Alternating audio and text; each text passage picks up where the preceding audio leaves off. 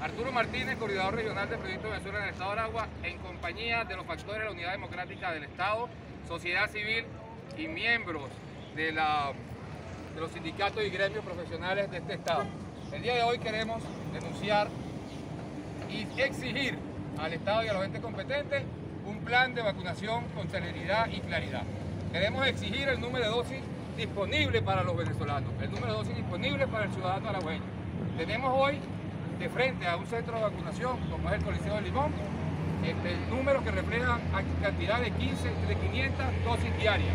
Esto refleja que para el municipio, para el de la por ejemplo, una población de 120 mil habitantes, necesitaremos por lo menos 8 meses para tener lo que llaman la inmunidad de rebaño. Tenemos el ejemplo del municipio Mariño, en este estado, con 380 mil habitantes, con una cantidad de dosis suministradas de 1.500 diarias, tendremos entonces también más o menos aproximadamente un año para salir entonces y llegar a lo que llamamos la inmunidad de rebaño.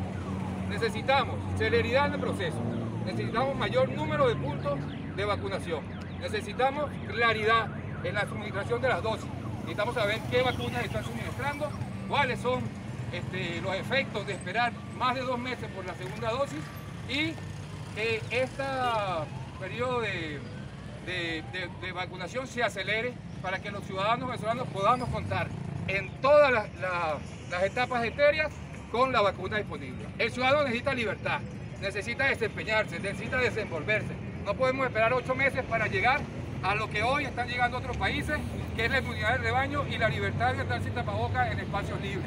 La libertad de comercio, los comerciantes necesitan trabajar.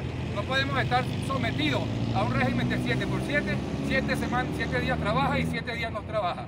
Hoy exigimos celeridad en el proceso de vacunación frente a un centro de vacunación que suministra 500 dosis diarias. Vacunas, vacunas masivas ya.